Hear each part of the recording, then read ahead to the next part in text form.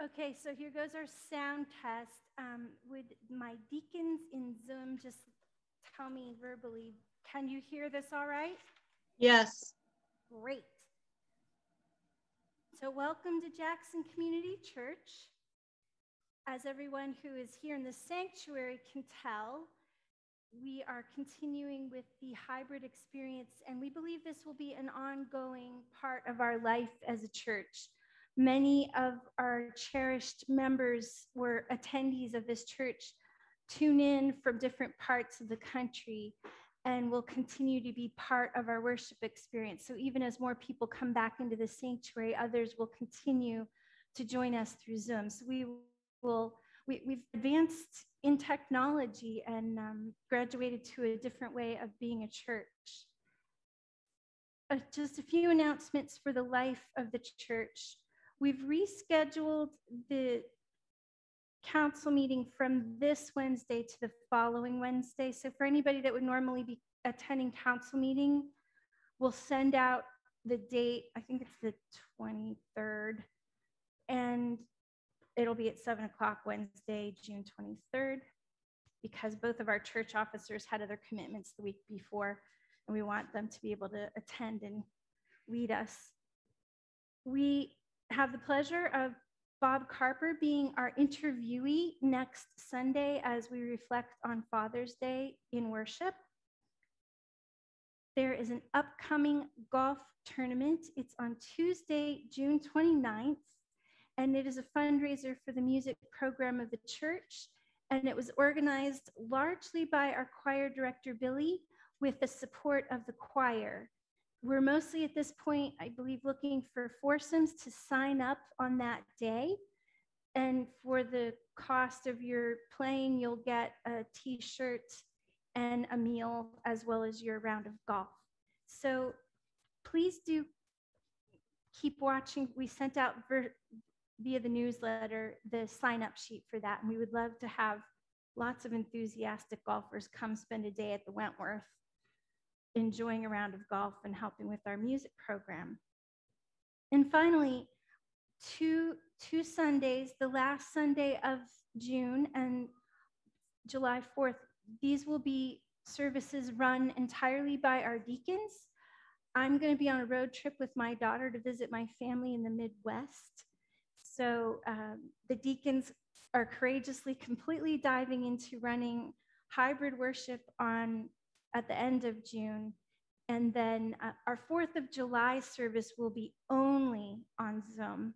Um, Alan will also be away 4th of July, as will I. So, given that, yeah, we just decided the simplest way is the best way this year. So, we have a great reflection. The deacons will be leading it. So, there will be worship, but it will be a Zoom based worship on that day. Those are my announcements for the life of the church. Are there any that I have missed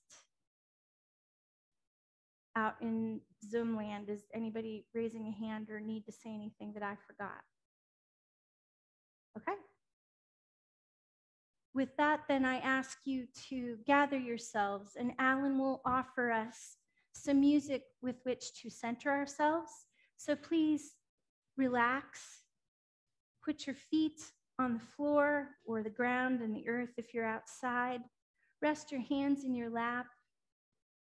Close your eyes if you'd like, and simply come into this gathering and prepare for the presence of God in your lives.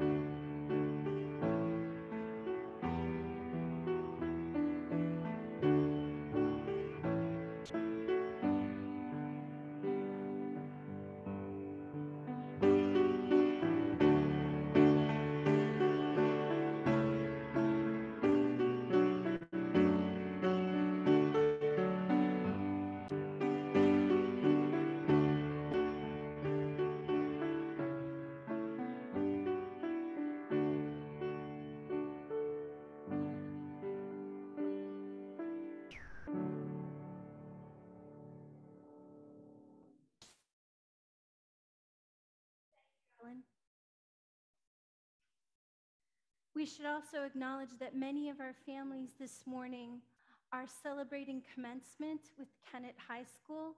Last year, for the first time, in order for our high school seniors to graduate, they couldn't gather. And so they creatively, as a community, came up with the idea of taking the chairlift to the top of Cranmore Mountain with their families, receiving their diplomas, and they wore their robes up and their tassels and all of their regalia. And they were safe, and there was this amazing summit experience in their lives. And because it was such an exceptional form of a ceremony, it has been repeated again this year. And so this morning, our young people are literally going up a mountain to peak experience in their lives with their families. Yesterday, they gathered with friends and they had a parade through town and other forms of celebration. But to acknowledge this threshold moment, we heard from our own senior, Caleb, last week talking about what lies ahead for him and what he's bringing with him out of his time growing up in this community. Let us hold these young people and their opportunities and their journeys in our hearts this morning. Please turn to the call to the worship that you will find either on your screen or in your bulletin.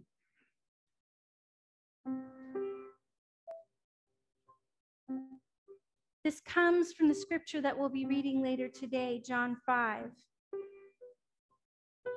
How long have you waited to be seen?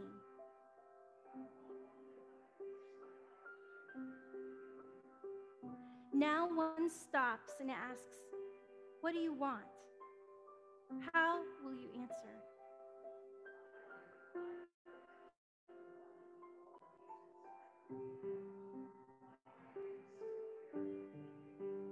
Will you reply by telling the one all the ways that others ignored you, stepped over and around you, and seized the chances that you hoped would change your life or another's life.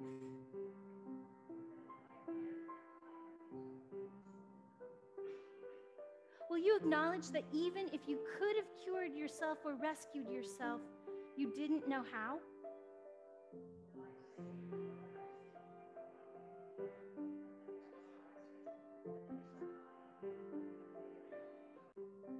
How long have you waited to be seen? To be asked what you want? To be offered what you need?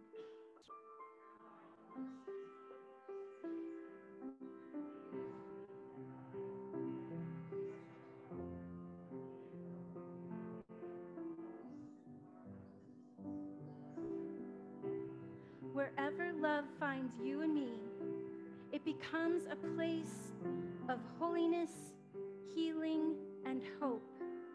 Lastly, the one reminds us don't miss the mark. Turn your gaze to the heart of the way you must aim your life, your being, your living. Aim, and if you miss at first, keep trying. Love will guide you toward the mark, help you on the way.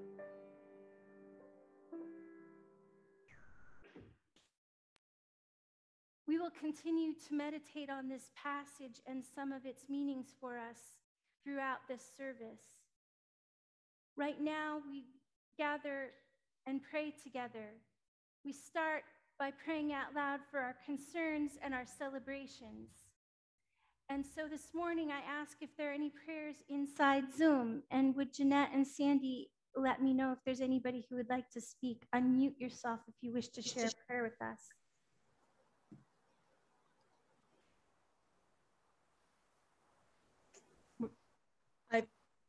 Oh, wait, Meg. Meg does. Okay, go for it, Meg. Um, I would like us to remember in our prayers Jean, who is returning to work part time after her severe encephalitis this spring. Um, she's hoping to go back to work full time soon, but this week she'll start part time, and that's a huge transition for her. So let's keep this, her in our prayers, please. Thank you for for reminding us of her ongoing journey in our prayers we have been holding Jean in our prayers for several months as she went through this incredibly uh, life threatening challenge of encephalitis. Other prayers in our virtual community? I think that's it. All right, then we will welcome prayers from here in the sanctuary. Alan's grabbing us a microphone to get us started. But Kevin, go ahead and I'll, I'll translate. it's like Kevin wants to. So we're gonna, we're carrying the microphone to Kevin. Give him one second, Kevin. Hello? Yes. Uh, prayer for Reverend Gail and Chris and the first responders and all the members of our church and all the visitors. And prayer that God will forgive me for what I did not know. So prayers for forgiveness and prayers of intervention for those that help support our safety and our lives in the regular course of a week. Other prayers here in the sanctuary. Alan will bring you the microphone if you wish to share anything out loud. You guys have been awfully shy the last few weeks. Let me name a few people that we wish to continue to hold in prayer. John, Judy and Bill, Deanna, Scamp, Huntley, Barry and Jan, Sasha, Mary, Donna. We have many, many people that we don't necessarily name specifically, but who are also in need of our prayers. Kevin, right? Kevin always wants our prayers, and we need to give him our prayers. These are prayers for healing, for comfort, for renewal. We invite now any prayers of celebration that you have, and we'll start in the sanctuary and work our way back to Zoom. Go ahead, Kevin. Um, I'm grateful for Jeanette. She helped me and all the people who helped me in our church and that care about me. And um, I'm grateful for the butterflies, the sunshine, and the birds. That's a pretty good list. Hard to top. Alan's got one. Um, uh, You may have heard from, the- I've said it before, but our new pastor at Our Lady of the Mountains uh, is going to be starting Father's Day weekend, uh, Father Josh Livingston. So we're very excited about that. It's been nine months that we've been waiting, so very excited. So for a new clergy member here in the Valley, Father Josh Livingston, we welcome him wholeheartedly and we are grateful that he, he will be here to lead and support a very large and vital community of faith here in the Valley. And we have another prayer. Go ahead, Sue. I had to stop my car on Glen Ledge yesterday due to a doe and her two fawns slowly crossing the street. So we all just stopped and let her go. But also this morning, it's absolutely exhilarating to watch the beautiful red cardinals. They are just something else to watch. What a gift. for the vibrant life around us that is revealing itself. Other prayers of celebration here in the sanctuary.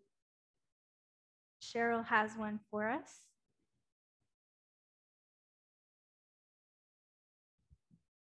Um, I, I hope I have this right. Um, I wanted to celebrate Ray and Arden. I believe it's their anniversary today. Ah, I, I hope I have that right. Ray and Arden's anniversary. And we know that Richard just had a birthday, so we think we should acknowledge his birthday. There are many birthdays, but the Augustines are with us again this week. They came up to celebrate his birthday here in the Valley, and congratulations on another great year among us, and we are glad you chose us to celebrate it with.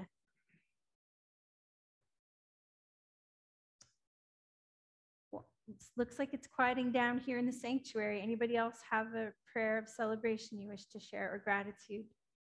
Then please, if there's anyone in Zoom who wishes us to lift up anything in celebration or gratitude, please go ahead and unmute and share.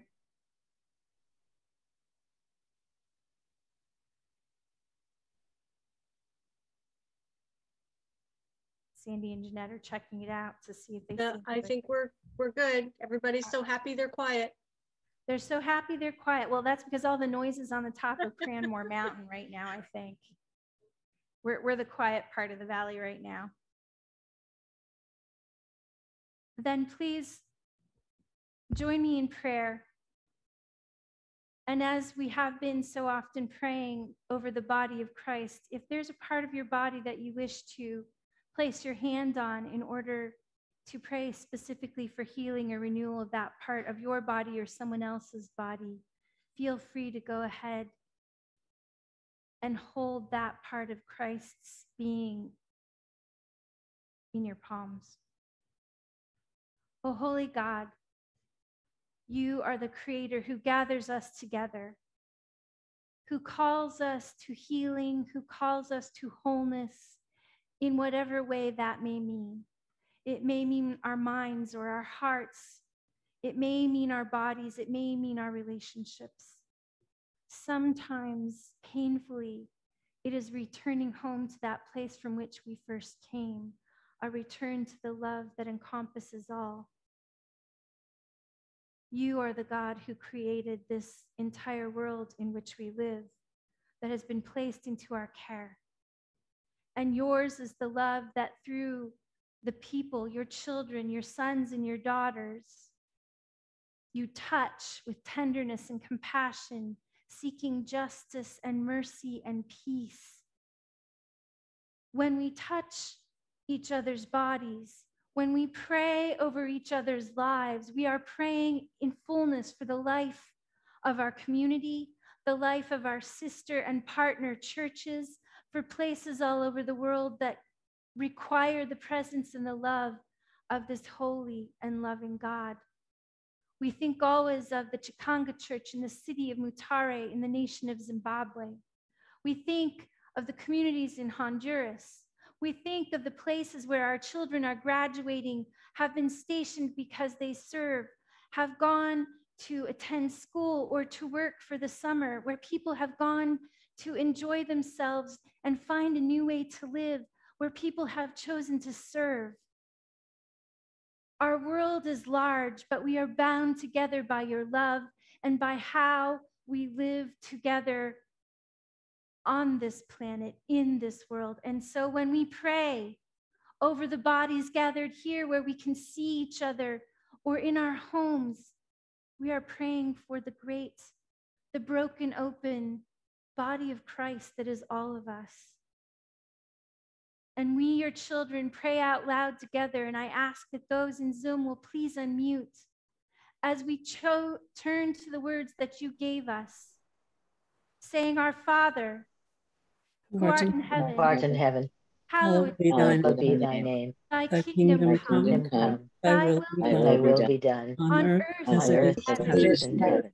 Give us us this this day Give us this our our daily daily bread. bread. Give us our forgive us sins. our us our we sins, as we forgive forgive those as those we who forgive sin those against us. against us. against Lead us us. not into Lead us not into temptation, deliver us from evil. deliver us from For thine is the For kingdom, For thine the is kingdom, and power, power, and glory glory forever. forever.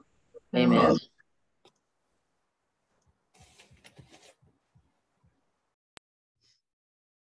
We have two readings this morning.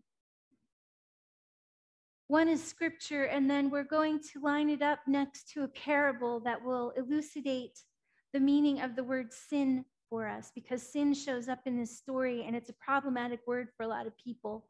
And I want us to think about what it means to be healed in different ways in our lives and what it is we're aiming for so that we may be whole in our relationship and our connection to God's self, ourselves, and each other. We turn first to the scripture, which you'll find either on your screen or on the back of your bulletin. This is a reading from John 5, verses 1 through 15. I want to note that there's some text in italics. This text does not appear in all translations because it was actually taken from margin notes in later translations of the Bible and carried forward through time and then removed again in more whole, uh, integrated translations that go back to the earliest texts. And so in many translations, the text jumps from verse 3 to verse 5 and skips verse 4 because verse 4 is somebody's margin note that got carried into the Bible.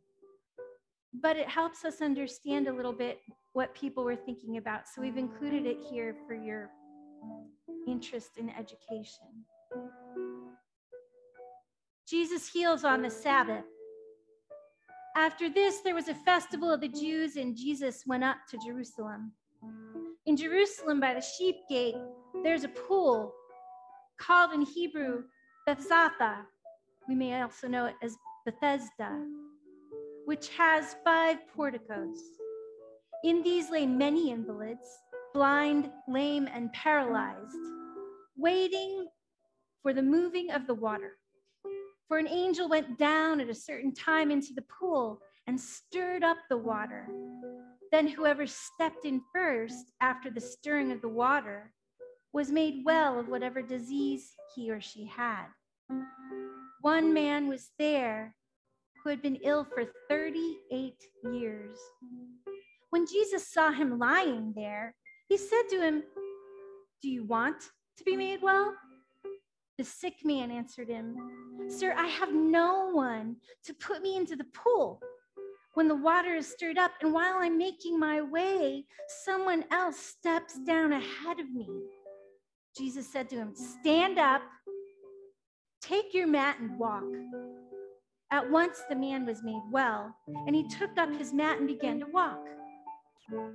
Now that day was the Sabbath, so the Judeans said to the man who had been cured, It's the Sabbath.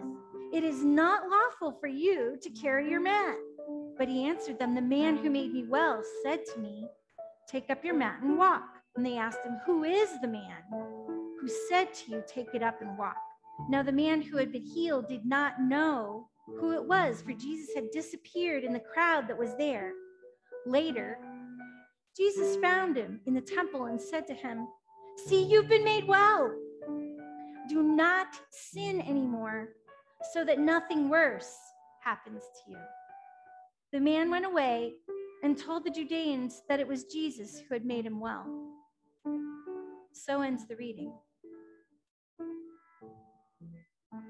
Think about a couple of things as I tell you this next story, which you can find either, we'll move it to the screen or you can find it as an insert in your bulletin. How many times did Jesus find that man and seek to heal him? Had anyone ever seen that man before? What was the question that Jesus first asked him? And how did he reply? Listen now to this parable called Missing the Mark, which is a way of understanding the Hebrew and Greek word for sin that comes from an archery term that means to miss the target. The great king called his first lieutenant and he said, the strength of my army is in the archers. Go into the ranks and find those who do not know the bow and the arrow, and teach them that my army may be strong in defense of my enemies. On the new moon, I will hold a contest to see your progress. I'm going to paraphrase this for you at this point. The lieutenant was not enthusiastic about this task. Okay, so he looks around and he finds finds 20 people that he knows don't know how to shoot a bow and an arrow. He calls them out, he gives them their equipment, he sets up a target, he demonstrates. He holds his bow, and me, remember, this man has been trained to do this for his whole life. And for him, it's as natural as breathing. He can draw, aim, hold his breath, release, and every single arrow will hit the center of the target. And as soon as the men that he called out of the army start to practice, he starts chiding them and chastising them. Don't waste the arrowheads. Don't break that bow. Aim better. You missed. Chastising, punishing. He tells them all the ways that if they don't follow the rules, if they don't do it right, they'll waste the equipment, they'll waste resources, they'll waste his time. And by the time the moon comes around and the contest arrives, the king asks him to show what they can do. He says, shoot at the target and do not miss, and they miss over and over. Those 20 men miss.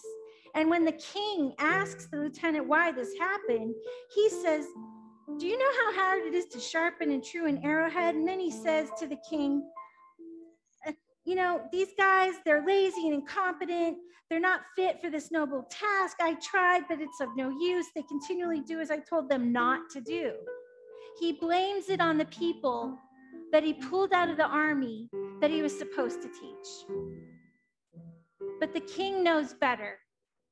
And he's angered by the waste of these men's time and a month and his trust in this officer who does not know how to motivate or teach or serve.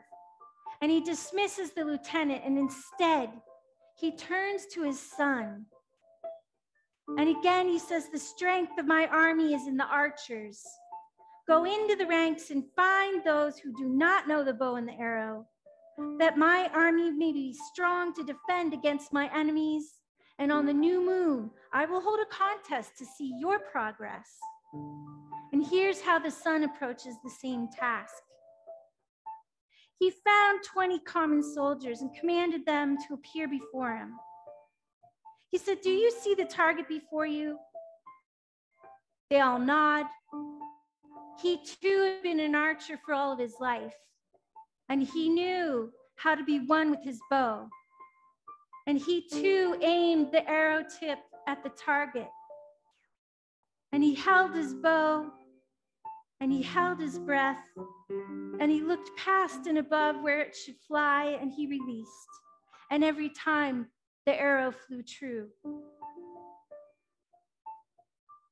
And as they struggled, each with the equipment, trying again and again, he praised them and he was patient with them. Concentrate on the heart. Never lose this focus. You will lose fletchings. You will break shafts. You will dull the points of the arrows, but focus on the heart. The heart was the target at which they were aiming. Day by day, the soldiers that he was teaching inched their way forward, concentrating on the painted red hearts. And with every failure, the son patiently offered instruction, teaching correction on their techniques. When a soldier would become lazy or unfocused, he would rebuke them carefully, bringing them back to the focus on the heart. And on the day of the new moon, when the king asked them all to demonstrate their skill, most of the archers hit the target. A few missed, but each each one was encouraged by the son. And he would say their learnings as I had to learn. And the father would nod and smile. And when a man failed, the king noticed that his son was silent. And the king asked how the son had taught. And the son said, As you taught me with great patience, grace, and a singular focus on the heart, so I have taught. There was one man who was the best at shooting, but he didn't he didn't have integrity in the way he did it. And the king was silent and he wondered about that man. And the son said, He will not turn his bow in the direction that it should go. He will not serve you.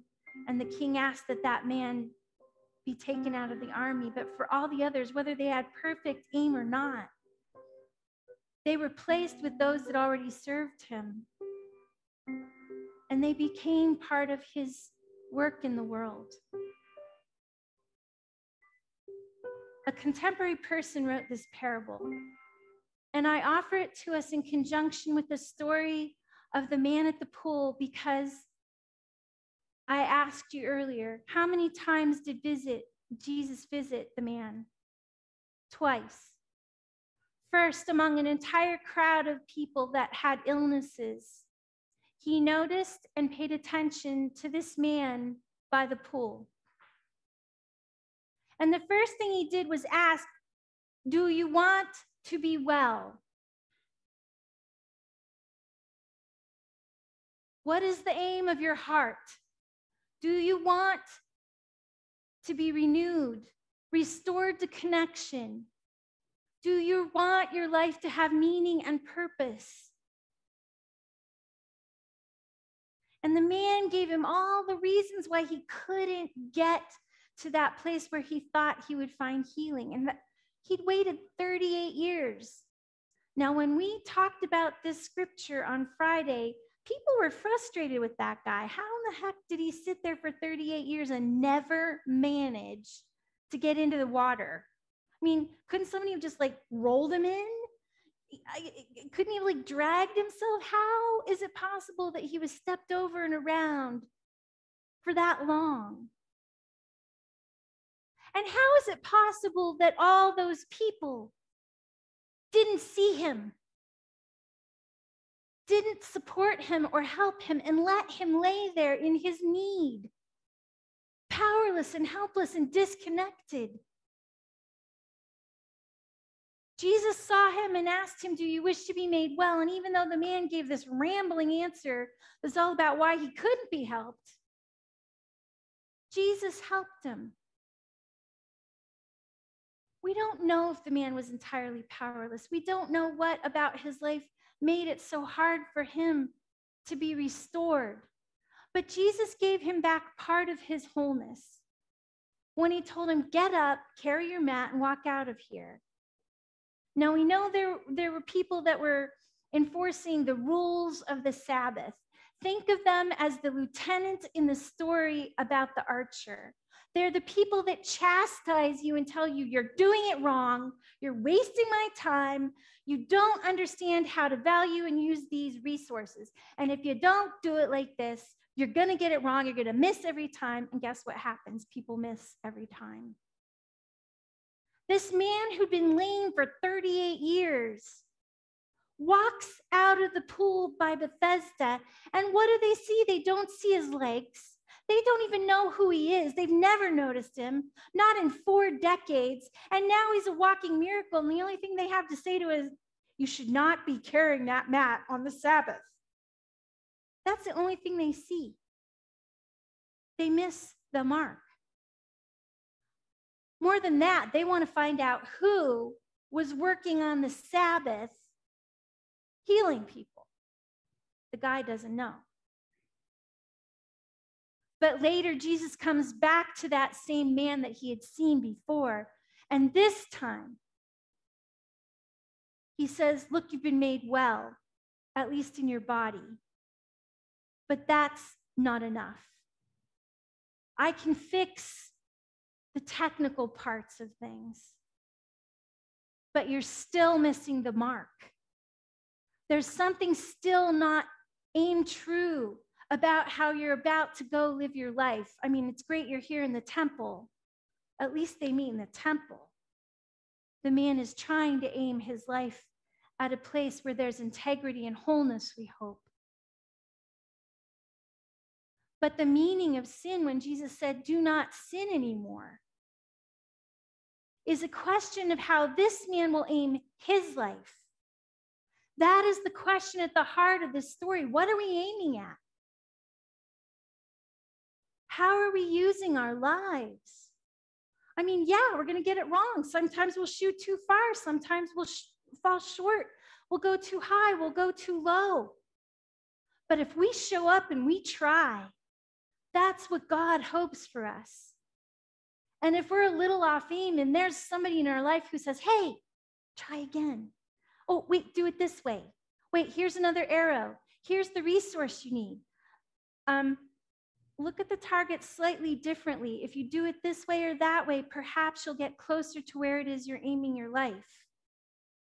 It's not like we're supposed to do it by ourselves. There's a teacher, usually somewhere in our lives, who can help guide us and help us figure out where we should be aiming and how we do it. the greatest part of the healing of this story doesn't pla- take place when the man stands up and walks away from the pool of water. It takes place when Jesus reminds him that it's not just the outward part of you, it's not just your flesh, it's how your heart beats. It's how your emotions and your mind move your body through the world. It's how you connect with other people. It's a lesson for the Judeans that missed the miracle walking among them. It's a lesson for all the people who stepped over and around that man for four decades and ignored his situation and never bothered to ask him the one question Jesus said, which is, Do you wish to be made well? What do you need? And it's a lesson for the man who now has the power to move through the world. It's great you know how to move in the world, but how will you use that opportunity? How will you use that chance to make a difference? How will you now see someone as you were not seen? How will you reach for someone, towards someone, and help them get to that place that they need to be when others couldn't do it, wouldn't do it for you? How will you aim your life? It is in the aiming of your life that your own healing will happen. And know always, you don't do it by yourself. You do it with others around you. You're part of the community that God has opened up and created. You are wanted. And where you aim yourself is towards love, always towards love. We have ways of asking ourselves, is this love? You may have your own vows or covenants. At the eight o'clock gathering this morning, people remembered a saying that is Is it true? Is it good? Is it necessary? A way to measure each word or action. Scouts, people in the military, people in service organizations like Kiwanis and Lions and Rotary. All of these different ethical organizations have different filters that help you think about whether this is the right thing to do or say. At the heart of every one of those ways of imagining how you will act and speak and live in the world is the aim at love that is reciprocal, that wants wholeness for all people, sustainability for all people, to aim at love in the way that Christ walked in the world and modeled it for us. Today, you are seen, brothers and sisters. If you have never felt seen before, then look at each other now and know that you are seen. And what you need and where you must go. There are those who will help you who will walk with you, teach you if you need teaching, or learn from you if you have something to offer. And it will be how you move yourself through the world and how you aim that will make all the difference.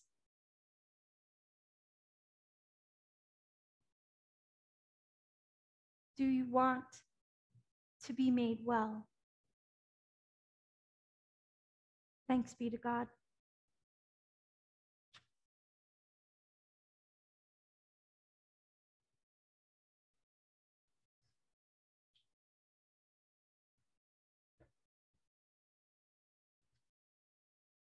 So we always remind everybody your offering makes a difference.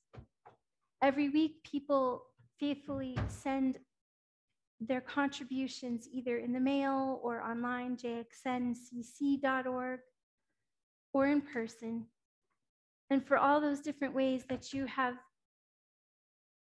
so faithfully kept up your promise, your commitment, your relationship to this church, we thank you.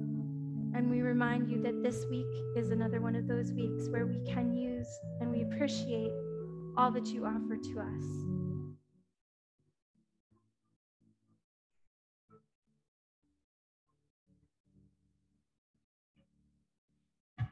And now we will have our hymn together. I'm going to ask that you sing behind your masks. Churches are beginning to migrate away from that, but until our council evaluates that, we, um, we will continue to sing behind masks. Please, if you're in the congregation here and you wish to stand and sing, you may. If standing's hard for you, then stay seated, however you wish to sing. We're going, go ahead, sorry, three verses. Go ahead.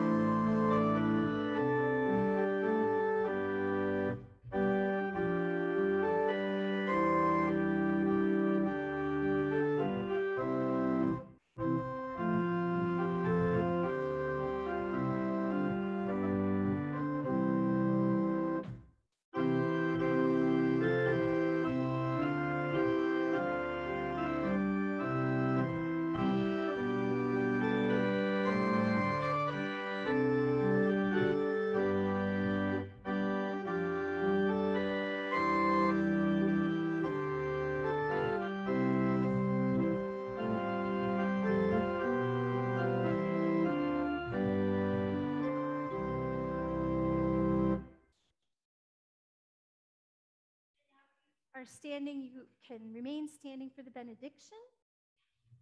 And if you're at home, enjoy.